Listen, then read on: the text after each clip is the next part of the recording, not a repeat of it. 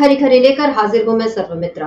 देश की बेटी विनेश फोगाट पेरिस से लौट आई हैं। पेरिस ओलंपिक में शानदार प्रदर्शन करने के बावजूद विनेश को जिस तरह पदक से वंचित रखा गया, वो तमाशा सारी दुनिया ने देखा है, देश ने भी देखा है और देश में इसको लेकर राजनीति भी खूब हुई क्योंकि विनेश फोगाट वही हैं जिन्होंने ब्रिजभूषण शरण सिंह, जो बीजेपी के सांसद रहे थे उन पर ही आरोप लगाया था कि उन्होंने कुश्ती संघ में जब चयन प्रक्रिया होती है या बाकी जब चीज़ें चलती हैं तो उस समय महिला खिलाड़ियों का यौन शोषण किया जाता है। ये आरोप, गंभीर आरोप ब्रिजभूषण शरण सिंह पर लगे थे, लेकिन मोदी सरकार ने न तब कुछ किया, न अब कुछ कर रही है। और इसके बाद पूरे देश ने ये भी देखा था कि किस तरह विनेश फोगाट, साक्षी मलिक, ये जो महिला पहलवान है इन लोगों ने किस तरह से जंतर मंतर से लेकर संसद के सामने तक लड़ाई लड़ी। इन लोगों ने अपने पदक तक गंगा जी में बहाने का वो कर दिया। वो प्रधानमंत्री के आवास के सामने पदक भी रखकर आ गए लेकिन इस सब के बावजूद देश जो है वो विनेश फोगाट को इंसाफ न मिलते हुए देखता रहा। और उसके बाद इसके जब ओलंपिक में उनका शानदार प्रदर्शन हुआ जब उन्होंने क्वार्टर फाइनल और सेमीफाइनल के बाद फाइनल्स में भी अपनी जगह बना ली तो ये कहा जाने लगा कि विनेश फोगाट ने आ, देश में तो वो न्याय हासिल नहीं कर पाई लेकिन अब ओलंपिक में वो गोल्ड या सिल्वर जीत कर बिल्कुल कमाल कर देंगे और मोदी सरकार को इसका तगड़ा जवाब मिल जाएगा।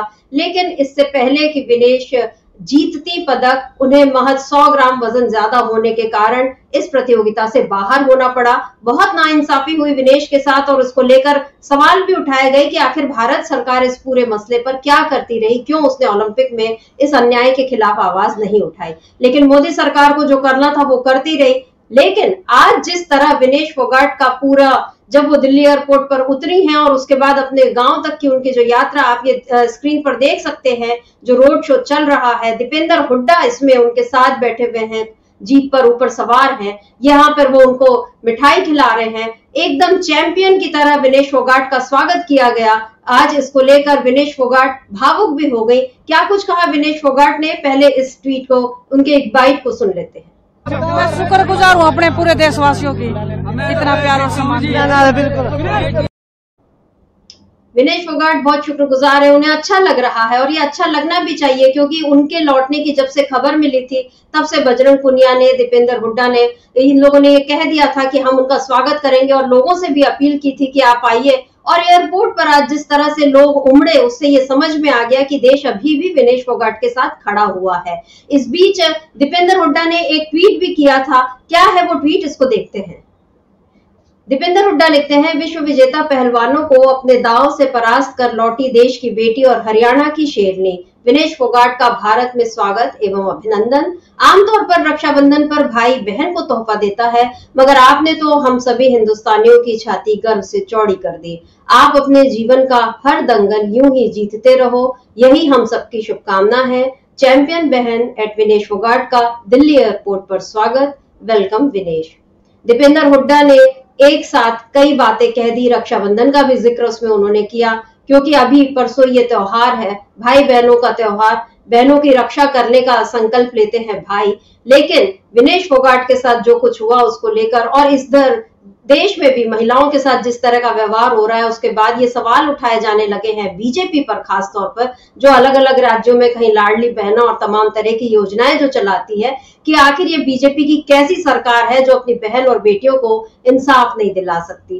खैर, विनेश फोगाट ने यह साबित कर दिया कि अपने इंसाफ की लड़ाई वो खुद लड़ेंगी। कल उनका एक मतलब कुछ दिन पहले जब पेरिस ओलंपिक में जब उनको गोल्ड मेडल से भी वंचित कर दिया गया, यानी फाइनल्स में जब उनको खेलने से रोका गया तो उन्होंने एक भावुक ट्वीट किया था, उन्होंने कुश्ती से संन्यास लेने का ऐलान कर दिया था। लेकिन कल फिर एक उनका ट्वीट आया है, जिसमें तीन पन्नों का पत्र है, या ये कहना चाहिए कि अपने चाहने वालों के नाम एक खत है, जिसमें उन्होंने ये लिखा है कि वो शायद 2032 में ओलंपिक खेल सकती है। यानी अभी विनेश कुश्ती के मैदान में जमी रहेंगी, ये तय है। लेकिन विनेश के कुश्ती में जमे होने से इधर हरियाणा की सियासत में क्या ट्विस्ट आ रहा है, ये आज के इस रोड शो से दिख रहा है, क्योंकि दीपेंद्र हुड्डा कांग्रेस के नेता है। हो सकता है संभावित मुख्यमंत्री भी हो हरियाणा के, या उनके पिता भूपेंद्र सिंह हुड्डा मुख्यमंत्री बन सकते हैं। वो पहले भी मुख्यमंत्री रहे हैं। कुछ भी हो सकता है, लेकिन दीपेंद्र हुड्डा जिस तरीके से विनेश फोगाट के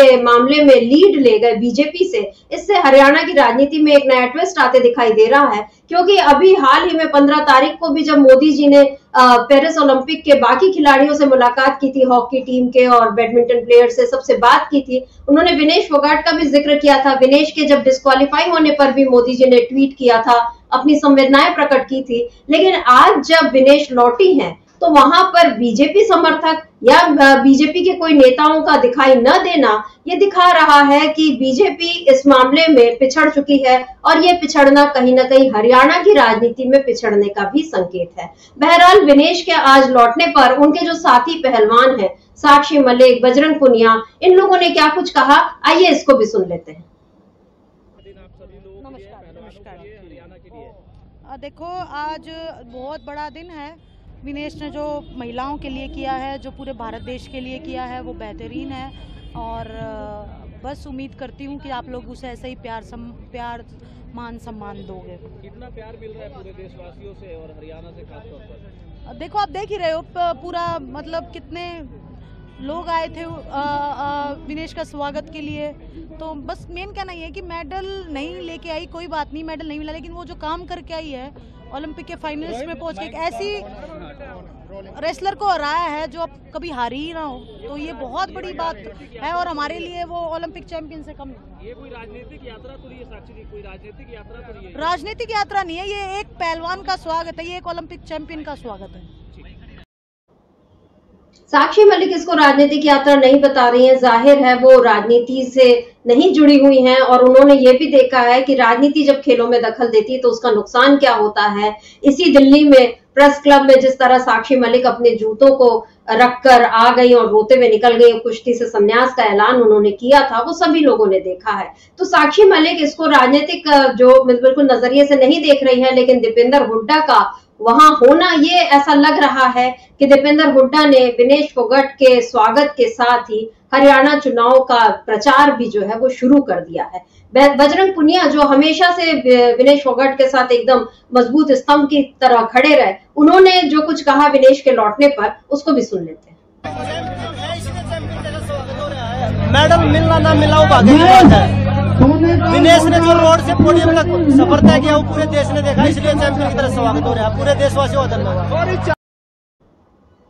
तो सबका यही कहना है कि पदक उन्होंने जीता हो या ना जीता हो, लेकिन चैंपियन तो वो हैं और इसीलिए एक चैंपियन की तरह ही उनका स्वागत हो रहा है।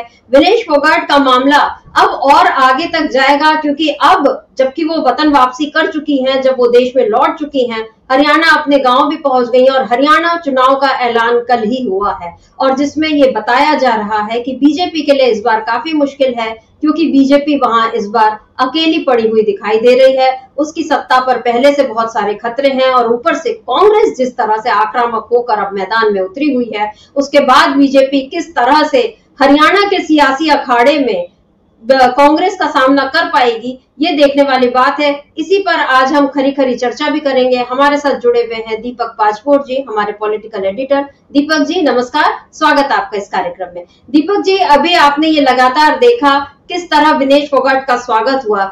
हम लोगों ने उस दिन भी चर्चा की थी जब विनेश फोगाट को जिस तरह से ओलंपिक से बाहर कर दिया गया था, वह सौ ग्राम उनका जो वज़न था वो ज़्यादा बताया गया और एकदम मुकाबले से सुबह जो उनको बाहर कर दिया गया और उसके बाद बहुत सारे सवाल उठे। नीता अंबानी जो कि आईओसी की मेंबर हैं तो उन पर भी सवाल उठे कि आप क्या कर रही हैं वहाँ बैठकर?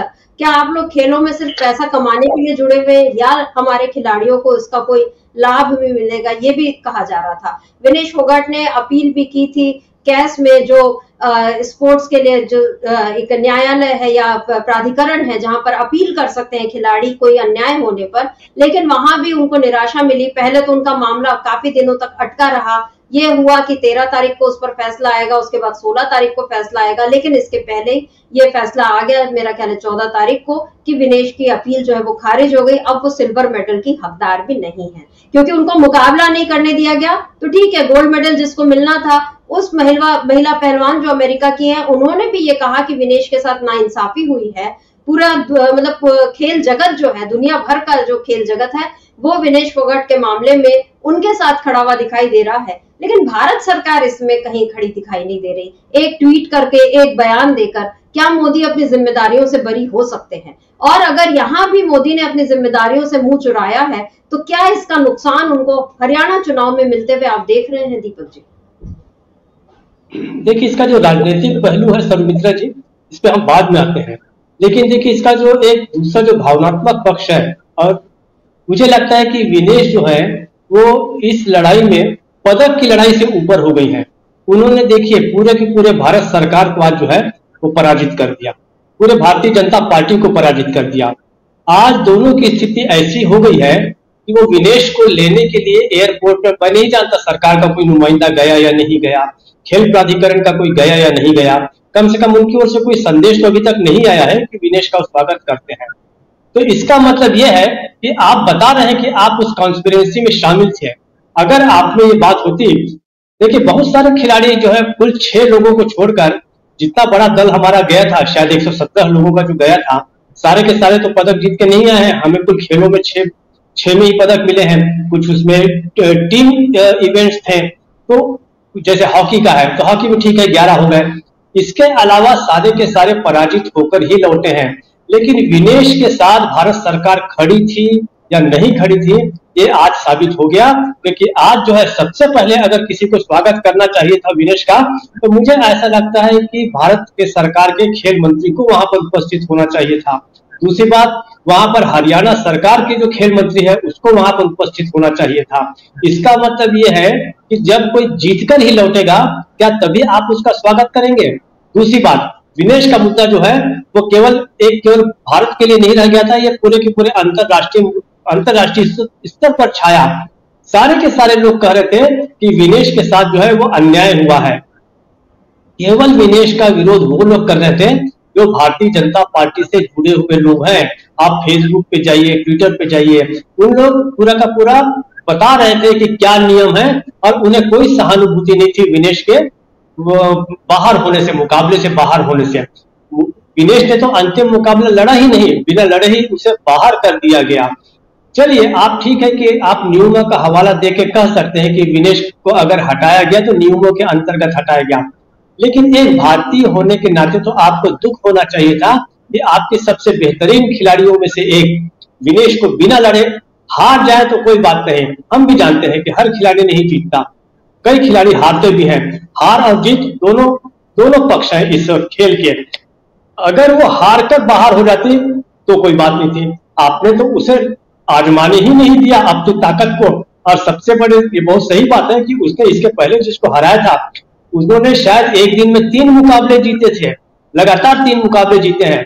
और जिसको हराया, उसमें से एक तो पराजय थी सेमीफाइनल में जिसको हरा के पहुँची थी वो, उसने आज तक कुश्ती का कोई मुकाबला नहीं जीता था। और निश्चित रूप से इसके बाद बहुत सारे खिलाड़ियों ने भी कहा कि विनेश के साथ अन्याय हुआ है। अगर भारत सरकार की इसमें कोई भूमिका नहीं होती, भारतीय जनता पार्टी की कोई भूमिका नहीं होती तो ये सब के सब विनेश के लिए लड़ते उन्हें उसका हक मिलता कि नहीं मिलता, वो एक बात की बात है। आज भी मैं कोई ऐसा, फ़िलहाल तो भारत सरकार की ओर से या हमारे प्रधानमंत्री साहब की ओर से कोई ऐसा संदेश नहीं देख रहा हूँ कि विनेश को वो स्वागत करें, उनको कोई ढाढ़स बंधाए। आप याद कीजिए कि एक एक मैच के बाद उन्होंने ज़रूर उनको लिए ट्वीट किया था जब वो सेमीफाइनल जीती थी। लेकिन उसके बाद जब उन्हें बाहर किया तो मोदी जी ने कोई ट्वीट नहीं किया। आप याद कीजिए, कुछ समय पहले उन्होंने महिला पहलवानों को अपने उसमें सभी पहलवानों का दल था, उन्हें अपने घर पर भी बुलाया था और उन्हें कहा था कि आप जो है वो मेरे परिवार के सदस्य हैं। उसमें से एक खिलाड़ी जो है, वो बहुत निराश थी। संभवतः वो विनेश फोगाटी शायद थी पिछले समय और उनको कहा था कि तुम रो मत तुम मेरी बेटी हो तुम मेरे घर की सदस्य हो। तो आज कहाँ गई वो बेटी? आपने जो कहा सर जी कि देश की बेटी विनेश लोटी है। ये देश की बेटी है लेकिन ये भारतीय जनता पार्टी की बेटी नहीं है। अगर भारतीय जनता पार्टी की बेटी होती तो वहाँ वहाँ पर तो दिल्ली में तो भारतीय जनता पार्टी के ही सबसे ज़्यादा सांसद हैं, सबसे ज़्यादा लोग हैं। कहाँ गए वो सारे के सारे लोग? क्यों नहीं अपनी बेटी के स्वागत के लिए वहाँ पर खड़े होते? हैं हरियाणा में भी उनकी सरकार है। कहाँ है वो लोग? इसका मतलब है कि आपको मुँह छिपाने के लिए जगह नहीं मिल रही है। पहले तो शंका थी कि आप इस षड्यंत्र में शामिल हैं, आज उसकी पुष्टि हो गई। अगर आपका कोई दोष नहीं था तो आपको निश्चित रूप से वहाँ पर उपस्थित होना चाहिए था। दूसरी बात आपने कही कि दीपेंद्र हुड्डा ने इसमें लीड ले ली है। ये दीपेंद्र हुड्डा का फ़र्ज़ था।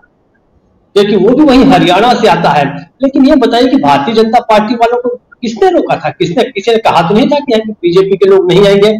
उन्हें जाना चाहिए था। उन्होंने लीड नहीं ली। इसका मतलब यह है कि षड्यंत्र में शामिल है। और असली बात यह है कि उन्हें बहुत बहुत ज़बरदस्त शर्म आ रही इस बात की कि विनेश फोगाट का ऐसा स्वागत हो रहा है, जबकि वो तो चले थे विनेश फोगाट को पूरी तरीके से निस्तनाबूद कर देने के लिए, मनोबल तोड़ने के लिए। और अगर ये खबर सही है कि उन्होंने अपने संन्यास की घोषणा वापस ले ली है तो पूरा भारतवर्ष जो है, वो निश्चित रूप से खुश होगा। और हम चाहते हैं कि वो अगला, अगले जो फिर से कुश्ती के मुकाबले होंगे, वो मैदान में डटी रहे। क्योंकि दंगल फ़िल्म में यही दिखाया है कि दंगल में जिस समय एक पहली जो एक कुश्ती हारती है, उसके बाद लगातार जीतती जाती है छोटी सी बच्ची जब वो जाती है गाँव के दंगल में खेलने के लिए, पहला मुकाबला वो हार कर लौटती है, लेकिन अगले बार फिर से लड़ने जाती है। यही सबसे बड़ी खासियत है हरियाणा के पहलवानों में या पंजाब के पहलवानों में कि बहुत आसानी से मैदान नहीं छोड़ते ये, इसीलिए आज उनका नाम है। हम सब चाहते हैं कि विनेश मैदान में टिकी रहे। जिस प्रकार से आज उसने एक ज़बरदस्त उसका स्वागत हुआ है उसमें हम सब लोग शामिल है चाहे हम वहाँ एयरपोर्ट पर ना हो उसके गाँव में ना हो हम सबका दिल जो है विनेश के साथ है और वो लगातार लड़े और आगे बढ़े। तरुण मित्रा जी। जी बिल्कुल विनेश फोगाट के लिए यह बहुत बड़ा संदेश है क्योंकि आ, लोग उनको लगातार लड़ते और आगे बढ़ते हुए देखना चाहते हैं क्योंकि ऐसा नहीं है कि वो चाहे कुश्ती का अखाड़ा हो या ये जो सियासत उनके साथ हुई है, जिस तथा कथित षड्यंत्र की वो शिकार हुई हैं, ऐसे में केवल उनका हौसला पस्त नहीं हुआ है। यहाँ पर वो सारे लोग कहीं ना कहीं विनेश के साथ खुद को कनेक्ट कर रहे हैं, जो किसी न किसी तरह ना इंसाफी का शिकार हुए हैं। छोटी छोटी जगह होती हैं जहाँ पर लोगों के साथ इस तरह की पॉलिटिक्स हो जाती है। उनको, जो उनका हासिल है, वो उनको नहीं मिलता।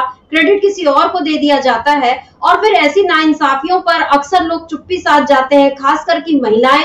वो आवाज़ नहीं उठा पाती हैं और ये ये किस्सा जो है ये घर से लेकर दफ्तरों तक और हर जगह ये चीज़ होती ही है कि महिलाओं को कहीं ना कहीं हाशिए पर धकेला जाता है और इसीलिए जब विनेश जैसी लड़कियाँ लड़ती हैं और हारने के बावजूद जब वो कहती हैं कि मैं मैदान नहीं छोड़ूँगी तो यकीन मानिए कि लाखों करोड़ों महिलाओं को उनके इस जज्बे से बहुत खुशी होती है। भले हौसला मिले ना मिले कि हम खुद जाकर लड़े, लेकिन कम से कम खुशी होती है देख के कि हम ना सही कोई और है जो इस तरह से लड़ रहा है? विनेश फोगट को देखकर आज कुछ ऐसा ही मेरा ख्याल है, देश की महिलाएँ जो है वो महसूस कर रही होंगी। लेकिन विनेश फोगट के मामले में जो हमने राजनीति की बात की, दीपक जी वो इसलिए, क्योंकि दीपेंद्र हुड्डा को हमने देखा, वो पहुँचे और वो कांग्रेस के सांसद हैं और आप याद कीजिए, जब भूपेंद्र हुड्डा ने ये कहा था कि अच्छा होता, अगर अभी जो राज्यसभा के चुनाव होने हैं, उसमें विनेश फोगाट को भेजा जाए दीपेंद्र हुड्डा ने कहा कि मेरी सीट खाली हुई है, वो उनको मिल जानी चाहिए। बीजेपी ने इस मामले पर अब तक कोई प्रतिक्रिया नहीं दी। हालाँकि नायब सिंह सैनी, उन्होंने ये कहा कि सिल्वर मेडल विजेता को जो कुछ मिलना चाहिए, वो हम उनको देंगे। लेकिन देंगे, आप वहाँ तक पहुँचे नहीं, बीजेपी का कोई भी मतलब दिखा नहीं। अगर पहुँचा होता तो अब तक सोशल मीडिया पर आ गया होता कि बीजेपी की ओर से या हरियाणा सरकार की ओर से ये लोग पहुँचे हैं इन्होंने स्वागत किया है। लेकिन ऐसा कोई भी दिख नहीं रहा। इसका मतलब है कि यहाँ पर बीजेपी खुद को या वो कोई नई चाल चल रही है, या वो अपना चेहरा छुपा रही है।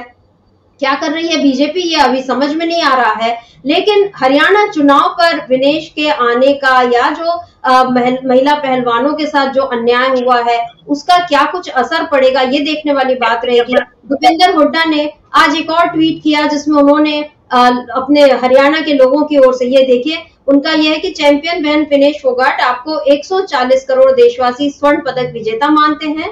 सभी देशवासियों की तरफ़ से जीत का प्रतीक हनुमान जी की गदा भेंट की। यहाँ पर दीपेंद्र हुड्डा ने हनुमान जी का जो प्रतीक है गदा और जो पहलवानों के लिए भी खास माना जाता है, वो उनको भेंट करके ये बताया कि हम आपके साथ हमेशा खड़े हुए हैं। अब सवाल ये है दीपक जी कि इन सब बातों का क्या हरियाणा चुनाव पर असर पड़ेगा? क्योंकि हरियाणा के अभी हम पिछले आंकड़े देखें। पिछले चुनाव में, यानी 2019 के चुनाव में बीजेपी ने वहाँ पर सबसे बड़ी मतलब पार्टी के रूप में उभरी थी। हम वो स्क्रीन पर अगर दिखा सकते हैं तो वो दिखा दें। कुछ फिगर्स हैं, आंकड़े हैं, उनको हम देख लेते हैं। हरियाणा की कुल है नब्बे सीटें, उसमें बहुमत का आंकड़ा होता है छियालीस। पिछले 2019 के विधानसभा चुनाव में बीजेपी को मिली थी 40 सीटें, कांग्रेस को मिली थी इकतीस। जेजेपी थी दस सीट पर और अन्य में थे, और या निर्दलीय देख ले जैसे गोपाल सिंह कांडा तो नौ सीटें मतलब एक निर्दलीय और बाकी अन्य थे। यहाँ पर बीजेपी बहुमत के आंकड़े से पीछे रह गई थी। हालाँकि उसका दावा यह था दीपक जी कि हम 75 सीटें लाएँगे। नहीं मिली उसको 75 सीटें, वो 40 पर सिमट गई। तब जेजेपी दुष्यंत सिंह चौटाला जो इनेलो से अलग हो गए थे, उन्होंने अपनी पार्टी बनाई। और उसके बाद उन्होंने बीजेपी को समर्थन दे दिया और बीजेपी की सरकार बन गई 50 सीटों के साथ। कांग्रेस जो थी, इकतीस सीटें लेकर विपक्ष में बैठी। लेकिन साढ़े चार साल बीतते न बीतते, अभी कुछ समय पहले जेजेपी ने अपना समर्थन वापस ले लिया। बीजेपी फिर से अल्पमत में आ गई, लेकिन जोड़ तोड़ करके अभी वो सरकार में बनी हुई है। खट्टर जो है, अब संसद पहुँच गए हैं। मुख्यमंत्री पद उनको छोड़ना पड़ा था। नायब सिंह सैनी संसद से विधानसभा मतलब वो बन गए मुख्यमंत्री। ये अभी बीजेपी ने यहाँ पर ये फेर बदल किया। लेकिन 2024 के लोकसभा चुनाव में फिर बीजेपी को एक तरह से कांग्रेस से मात इसलिए खानी पड़ी क्योंकि पिछले चुनाव में बीजेपी ने वहाँ सारी सीटें जीती थी। इस बार रह गई वो केवल पाँच सीटों पर, दस सीटें कुल हैं बीजेपी लोकसभा सीटें। कांग्रेस पाँच पे रही, पाँच पर बीजेपी रही, लेकिन यहाँ पर अंतर ये रहा कि कांग्रेस का वोट प्रतिशत जो है वो काफ़ी बढ़ गया पिछले चुनाव की तुलना में और बीजेपी का काफ़ी घट गया। अब जो है, लोकसभा चुनाव खत्म हो गए, फिर से विधानसभा चुनाव की तैयारी, एक अक्टूबर को चुनाव है, चार अक्टूबर को नतीजे आएँगे। ऐसे ये जो आंकड़े आप देख रहे हैं, दीपक जी, और इस बीच ये जो सारा माहौल बदला है, क्योंकि जेजेपी भी अलग हो चुकी है। अभी तक उसने ये ऐलान नहीं किया कि वो किसको समर्थन देगी। हालाँकि इधर अभी ये है कि आम आदमी पार्टी का और कांग्रेस जो इंडिया गठबंधन में साथ में है, वो अलग अलग वहाँ पर चुनाव लड़ेंगे। दोनों के हरियाणा में अपने अपने आधार है, उस आधार पर लड़ेंगे, लेकिन इनेलो और बसपा, ये दोनों जो है, इन्होंने गठबंधन बना लिया है मायावती की पार्टी बसपा, क्योंकि हरियाणा में दलित वोटों का काफ़ी महत्व है। इनेलो और बसपा अब एक साथ है और उनकी ओर से इनेलो के जो अभय सिंह चौटाला है, वो मुख्यमंत्री पद का चेहरा है। नायब सिंह सैनी बीजेपी के लिए चेहरा माने जा रहे हैं। लेकिन कांग्रेस की ओर से अभी तक कोई चेहरा तय नहीं हुआ है। इन पूरे हालात को देखते हुए आपको क्या लगता है, कहाँ टिकी रहेगी बीजेपी या हरियाणा के सियासी अखाड़े में पस्त होने की उसकी तैयारी दिख रही है? देखिए, भारतीय जनता पार्टी की तो समस्या लोकसभा चुनाव के साथ ही शुरू हो गई थी। सीधा सीधा पाँच सीटों का मतलब है, आपके पाँच सीटें कम होना। इसका मतलब है कि आपकी ताकत वहाँ पर आधी रह गई है। जिस लोकसभा सीटों पर वो पराजित हुई है, उसका असर वहाँ की विधानसभा सीटों पर भी जाएगा, बहुत सीधी सी बात है। इसके ठीक विपरीत, कांग्रेस को ज़ीरो से अगर पाँच सीटें मिलती हैं तो आप सोचिए कि कितना बड़ा उछाल है वो। सिमिलरली, वहाँ की विधानसभा सीटों पर भी उसकी बढ़त बढ़ेगी। दो मुद्दे यहाँ पर बहुत ज़बरदस्त ढंग से काम करेंगे, ऐसा मुझे लगता है कि पहला तो है किसानों का जो आंदोलन है। किसानों का आंदोलन लगातार वहाँ पर काफ़ी सक्रिय रहा है, पिछले समय से रहा है। और सबसे बड़ी जो तादाद थी किसान आंदोलन में उपस्थित रहने वालों की, वो पंजाब, हरियाणा और उत्तर प्रदेश का, जिसे हम सामान्य रूप से जाटलैंड बोलते हैं, वहीं का सबसे ज़्यादा लोग जो है, वो आए थे। या इधर मध्य प्रदेश का नीचे का जो हिस्सा है, जो लगा हुआ है उत्तर प्रदेश वगैरह से। तो यहाँ पर कुल मिलाकर जो है, ये दो दूसरा जो मुद्दा, बहुत बड़ा मुद्दा जो मिल गया है कांग्रेस को, वो है विनेश फोगाट का आगमन। और ये बात बहुत सही है कि दीपेंद्र हुड्डा वहाँ पर पहुंचकर उन्होंने पिछले पिछले राउंड में मैंने उसे राजनीतिक पहलू पे बात नहीं की थी, लेकिन जो आप कह रही थी बहुत सही है कि उन्होंने लीड ले ली है। उन्होंने हरियाणा में बहुत ज़बरदस्त संदेश भेजा है। विनेश फोगाट एक हीरोइन बनकर लौटी है वो। मुझे ऐसा लगता है कि स्वर्ण पदक पाकर वो उतनी बड़ी नहीं बनती, जितनी बड़ी वो इस समय बिना लड़े और जिस तरीके से उसे निकाल दिया गया। और जिस प्रकार से भारत सरकार का षड्यंत्रकारी चेहरा जो सामने आया है, बीजेपी सरकार का उसके कारण विनेश फोगाट जो है, वहाँ पर बहुत बड़ा एक पॉलिटिकल फैक्टर रहेगी। मुझे ऐसा लगता है, कोई मुझे आश्चर्य नहीं होना चाहिए कि राज्यसभा वाली बात मैं नहीं जानता कि बाकी उनको राज्यसभा में ले जाया जाएगा कि नहीं ले जाएगा। लेकिन ये एक रणनीतिक मैं कहता हूँ कि बहुत अच्छी चाल रहेगी कांग्रेस की ओर से कि उन्हें राज्यसभा में भेजा जाए। अगर राज्यसभा में आप नहीं भेजते तो उसे अगर आप कम से कम वहाँ पर विधानसभा में कोई चुनाव लड़वाते हैं तो विनेश फोगाट जो है, बहुत महत्वपूर्ण भूमिका अदा करेगी। नंबर एक, महिलाओं के का जो बहुत बड़ा वोट बैंक है, वो वहाँ पे पाएगी। हरियाणा में स्पोर्ट्स फ्रेटर्निटी खिलाड़ियों का एक बहुत बड़ा सेक्टर है, बहुत बड़ा वर्ग समूह है, जो खिलाड़ियों को पसंद करता है खुद खेल में भाग लेता है।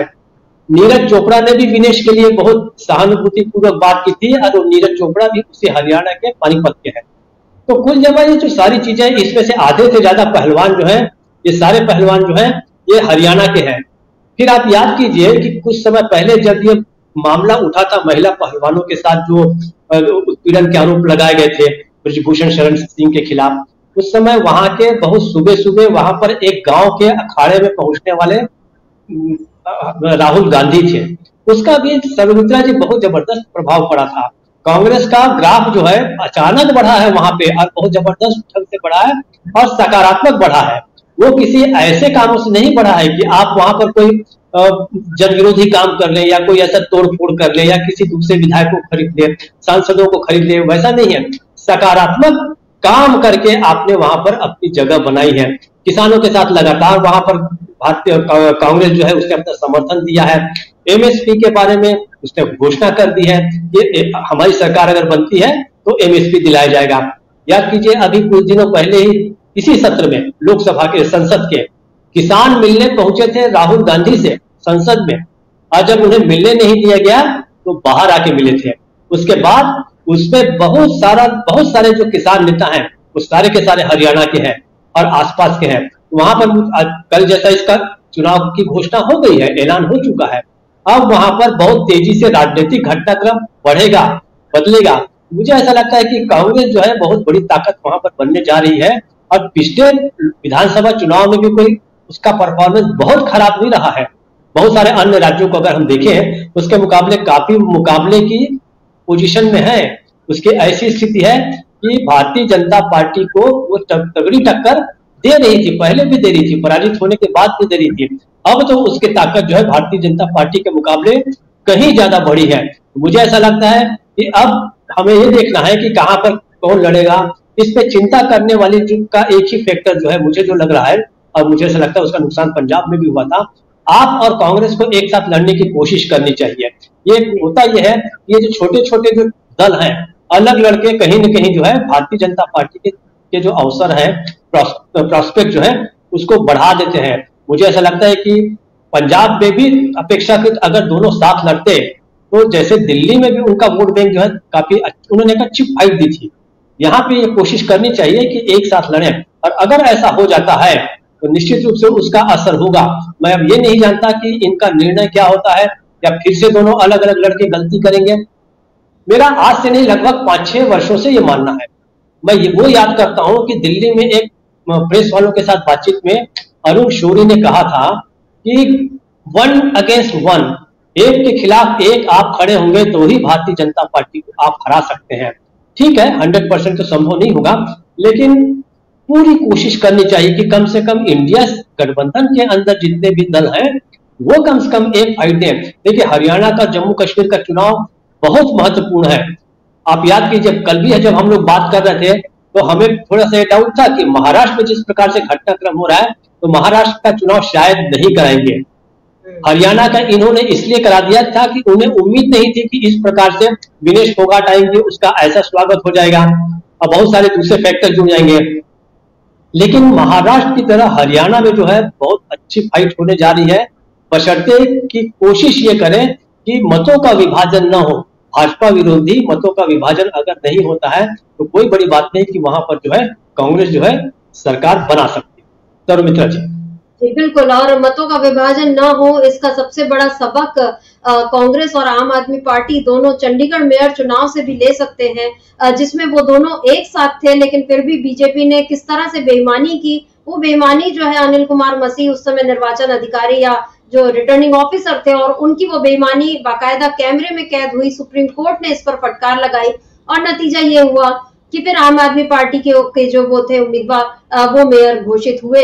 एक लंबी लड़ाई लड़ी गई, लेकिन यहाँ पर दिख गया कि बीजेपी किस तरह से सत्ता हासिल करने के लिए या जरा जरा से चुनाव में भी क्या बेईमानी कर सकती है। ये जब एक बार समझ चुकी हैं दोनों पार्टियाँ तो हो सकता है अब उनके रणनीतिकारों को इस पर विचार करना होगा कि आम आदमी पार्टी और कांग्रेस अगर एक साथ मिलकर लड़े हरियाणा में तो बीजेपी की हार बिल्कुल तय है। क्योंकि आप देखिए दीपक जी, पिछले चुनाव में मतलब केवल 31 सीटें अगर कांग्रेस ने हासिल की, उसके बाद वो अगर पाँच सीटों को ले सकती है बीजेपी से लोकसभा की।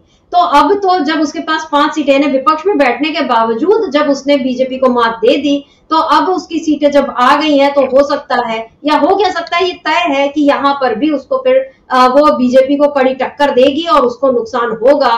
केवल पंद्रह सीटों का फासला रह गया है और अब तो अगर आम आदमी पार्टी इसमें जुड़ जाती है तो ये और भी अच्छा होगा। इधर कांग्रेस ने वैसे आम आदमी पार्टी उसके साथ आए ना आए, अपनी तैयारी उसने 15 जुलाई से शुरू कर दी है।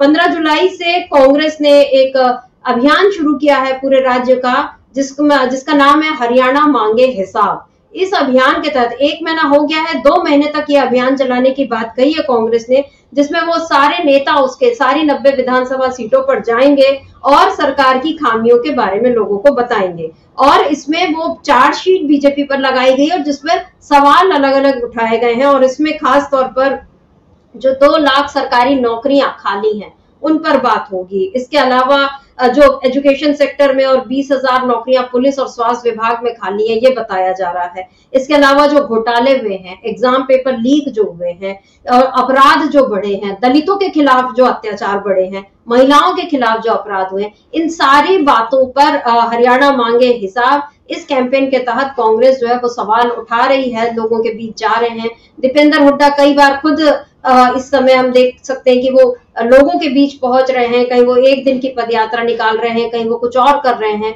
मुख्यमंत्री जो पूर्व रहे हैं, भूपेंद्र सिंह हुड्डा, वो भी लगातार एकदम सक्रिय अब दिख रहे हैं। तो बीजेपी के लिए बहुत सारी मुश्किलें और उधर बीजेपी क्या करेगी? अभी वो जाति और धर्म का ही जोड़ बिठाने में लगी हुई है और दूसरा उसका सहारा जो है शायद गुरमीत राम रहीम है, जो जिन पर गंभीर आरोप, हत्या, बलात्कार जैसे, और वो जेल से अभी फिर वो बाहर है पेरोल पे। तो ये सारी चीज़ें बीजेपी, यानी दिख रहा है कि सीधे सीधे नहीं, वो घुमा फिरा के चुनाव जीतने की जो तिकड़म है, वो लगाएगी। लेकिन यहाँ पर कांग्रेस जो तैयारी कर रही है, जो आपने पहले भी कहा कि सकारात्मक तरीके से, यानी दीपेंद्र हुड्डा या कांग्रेस के बाकी लोग किसी को अपने दल में मिला नहीं रहे, कोई तोड़ फोड़ नहीं कर रहे, कोई ज़बरदस्ती की नकारात्मक बातें नहीं कर रहे पॉजिटिव चीज़ें लेकर लोगों के बीच जा रहे हैं और लोगों से जुड़े मुद्दे उठा रहे हैं। किसान का मामला है वहाँ पर। अग्निवीर जो है, वो भी हरियाणा के लिए काफ़ी मायने रखता है। बहुत से बच्चे जो हैं, वो सेना में जाना चाहते हैं।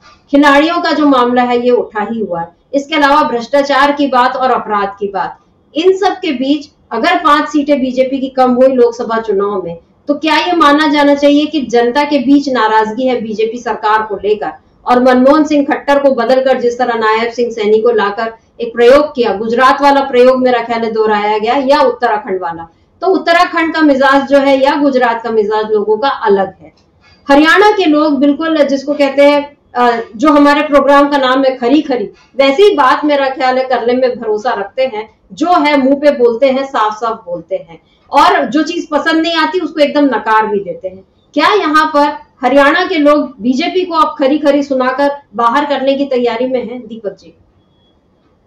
देखिए, खट्टर साहब को हटाया इसलिए गया था कि उनके कारण पूरी भारतीय जनता पार्टी की जो सरकार है वहाँ पर राज्य में, उससे लोगों की नाराज़गी थी, किसान बहुत नाराज़ थे उनसे। इसलिए खट्टर साहब को वहाँ से हटाया गया बकायदे, उसी योजना के तहत हटाया गया कि विधानसभा के चुनाव आते आते इतने ज़्यादा लोग नाराज़ न हो जाए कि भारतीय जनता पार्टी वहाँ पर पूरी तरीके से पराजित हो जाए। लेकिन ये निर्णय लेने में बीजेपी ने उनका जो शीर्ष नेतृत्व है, उसने काफ़ी विलंब किया। हो सकता है कि डेढ़ साल, दो साल, तीन साल पहले अगर ये किया जाता तो उसके बाद कुछ अपनी छवि सुधारने के लिए किया जा सकता था। नायब सिंह सैनी भी कोई बहुत बड़ा चमत्कार नहीं कर सके हैं। आपने जितनी समस्याएँ जो गिनाई है, इसके अलावा एक और बहुत बड़ी समस्या वहाँ पर जो है, वहाँ पर जैसे गुरुग्राम जाइए, पानीपत जाइए, या वहाँ के जितने औद्योगिक शहर है वहाँ पे किसान तो एक तरफ़ नाराज़ है ही एमएसपी को लेकर। वहाँ पर बड़ी संख्या में लोग बेरोजगार भी हुए हैं। छोटे उद्योग जो है, उनके सामने बहुत बड़ा संकट है वहाँ पर। तो ये भी एक दूसरा बड़ी नाराज़गी का कारण है वहाँ पर। तो मुझे ऐसा लगता है कि कांग्रेस, देखिए, मुझे, मेरा ऐसा मानना है कि कांग्रेस वहाँ पर सत्ता की दहलीज पर खड़ी है। अगर मैं सही कहूँ तो। केवल आपको प्रयत्न ये करना है कि एक बहुत अच्छी रणनीति आपको बनानी पड़ेगी। ये वहाँ पर अभी जो पूरे प्रदेश का जो दौरा कर रहे हैं कांग्रेस के लोग, वो एक उसको उसको भी बहुत अच्छा वहाँ पर प्रतिसाद मिल रहा है। लोग बड़ी संख्या में वहाँ पे जुट रहे हैं। सभी शहरों में चल रहा है वो, और नब्बे बहुत बड़ा राज्य भी नहीं है, लेकिन नब्बे सीटों को कवर करने का उनका इरादा है। अब चुनावों की घोषणा हो गई है तो उसके पहले पहले पूरा कवर शायद कर भी लें। तो इसका असर होने जा रहा है, ऐसा स्पष्ट लग रहा है, क्योंकि हम बहुत समय से, लंबे समय से चार राज्यों को लेके बात कर भी रहे थे। झारखंड हुआ, हरियाणा हुआ, महाराष्ट्र हुआ और जम्मू कश्मीर। और चाहे आप जो भी उसका विश्लेषण कीजिए, एक बात हर कोई कह रहा था कि इन चारों राज्यों में भाजपा के सामने संकट है। तो उसमें हरियाणा भी उसी सूची में शामिल है ही। और अब चुनावों की घोषणा हो जाने के बाद मुझे ऐसा नहीं लगता कि भाजपा ऐसा क्या विशेष कर देगी। उसके पास एक ही हथियार है। वो हथियार था कि आप ऑपरेशन लोटस चलाइए लोगों को खरीदिए जोड़ तोड़ कीजिए।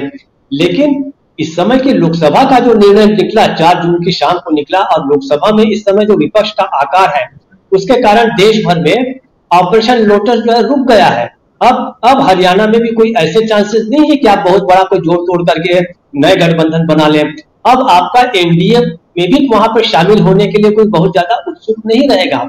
मुझे ऐसा लगता है कि भारतीय जनता पार्टी को वहाँ पर अकेले ही चुनाव लड़ना पड़ेगा। तो वहाँ पर अब कौन उनका साथ देता है, वो देखने वाली बात है। अब जो गठबंधन अभी मायावती के साथ एक पार्टी जो इनेलो ने किया है, उसका कितना असर होगा, हम नहीं जानते, क्योंकि इनेलो जो है, वो भी कोई बहुत ज़्यादा लोकप्रिय, उसका वो नहीं है कि मैंडेट उसे मिल जाए। वहाँ पर मायावती के लोगों को जो थोड़ा बहुत सहारा है, वो इनेलो का मिल सकता है। लेकिन दूसरी बात अब यह मायावती का जो रोल रहा है पिछले कुछ समय से उसके कारण निश्चित इसमें कोई शक नहीं कि बहुत बड़ी नेता है, उनका बहुत अच्छा जनाधार है, कई राज्यों में जनाधार है। लेकिन रणनीतिक रूप से वो निष्क्रिय हो गई है। वो ठीक है, गठबंधन कर लेती है। यहाँ तक कि उन्होंने छत्तीसगढ़ में भी गठबंधन किया था। लेकिन मुझे नहीं लगता कि उन्होंने उस सक्रियता के साथ शायद गोडवाना गोंगबा बोलते हैं, गोडवाना गणतंत्र पार्टी के साथ एक आध बार उनका समझौता भी हुआ है यहाँ पे। लेकिन सक्रियता नहीं रहती, वो नाम का गठबंधन कर लेती है, केवल अपनी उपस्थिति बताने के लिए। अब लोगों ने जान लिया है कि हमें ऐसा वोट नहीं करना है, जिसके कारण बीजेपी जीत जाए। तो वो वो वोट जो है, हो सकता है, देखने देखने वाली बात है कि कितना उनका वोट परसेंटेज बढ़ता है हम घटता है, लेकिन बहुत बड़ा रिस्पांस उनको मिलेगा, ऐसा मुझे नहीं लगता लगता। वहाँ पर मेन जो, वहाँ पे जो प्लेयर है, वो दो ही रहेंगे, भारतीय जनता पार्टी तो है ही है कांग्रेस जो है, उसके आगे बहुत बड़ी लकीर खींच चुकी है अपने कार्यक्रमों से। तो मुझे मेरा ऐसा अनुमान है कि मामला बहुत ही रोचक है, संघर्ष बहुत तगड़ा होने जा रहा है, और एडवांटेज अगर आप कहेंगे कि फ़िलहाल किसको है तो वो कांग्रेस को ही है, क्योंकि बीजेपी सरकार के खिलाफ जो नाराज़गी है, वो उसके खिलाफ जाएगी। सर मित्रा जी। जी, बिल्कुल, बीजेपी के खिलाफ नाराज़गी है। उधर कांग्रेस के लिए लोगों का उत्साह जो है वो बढ़ रहा है और बीजेपी की नाराज़गी की जो बात हम कह रहे हैं, इसके कई प्रमाण लोकसभा चुनाव के दौरान भी देखने मिले। जब वहाँ पर जो मंत्री हैं या जो प्रत्याशी हैं, वो प्रचार करने के लिए कुछ गाँव में गए तो उनको गाँव में घुसने भी नहीं दिया गया, क्योंकि किसान आंदोलन के कारण वहाँ पर लोगों की काफ़ी नाराज़गी थी। और किसान ये मान के चल रहे थे कि आपने जिस तरीके से हम पर अत्याचार किए, हमको दिल्ली के भीतर नहीं आने दिया। तो अब हम भी आपको अपने गाँव के भीतर नहीं आने देंगे। जब किसान इस तरह का कर सकते हैं तो हो सकता है अब विनेश फोगट के लौटने के बाद खिलाड़ियों का भी कुछ ऐसा ही रुख रहे। अगर विनेश फोगाट के आने के बाद अगर अगले कुछ दिनों में ये देखने देखने मिल जाएगा हमको कि वहाँ पर लोगों का उत्साह क्या रहता है, विनेश खुद क्या करती हैं, वो अखाड़े में अपना कसरत करते हुए या प्रैक्टिस करते हुए दिखाई देंगी या कोई दूसरा अखाड़ा अपने लिए चुनेगी ये सब देखने वाली बात रहेगी। काफ़ी दिलचस्प होने वाला है हरियाणा का चुनाव और विनेश के लौटने के बाद हो गया है। राजनीति में बड़ा ट्विस्ट नज़र आ गया है। तो दीपक जी, ये ट्विस्ट आगे और क्या मोड़ आएगा? जी, क्या बोल रहे हैं दीपक जी? जी जी। मैं, देखिए, मैं एक ही चीज़ जोड़ना चाहता हूँ कि जो किसान आंदोलन है, उसका जो पहला पार्ट था तो आप याद कीजिए कि उस समय किसान राजनीति का जो केंद्र था, वो दिल्ली से लगी हुई बॉर्डर थी तीनों की तीनों गाजीपुर, टिकरी और सिंघू बॉर्डर लेकिन इस समय रिसाली था। रिसाली जो बॉर्डर है हरियाणा की, वहाँ पर पूरा का पूरा राजनीति का केंद्र हुआ है किसान आंदोलन का, और अभी सुप्रीम कोर्ट ने यह आदेश दे दिया है कि उन रोड को खाली किया जाए। इसे भी लेकर वहाँ के किसानों में बहुत नाराज़गी है, क्योंकि इस समय का आंदोलन जो है, वो हरियाणा के किसान संचालित कर रहे हैं। केवल मैं इतना ही जोड़ना चाहता हूँ, जो वहाँ पर भाजपा के खिलाफ जाएगा। जी जी, सर। जी जी, एक और आ रही है, विनेश लौट गई है।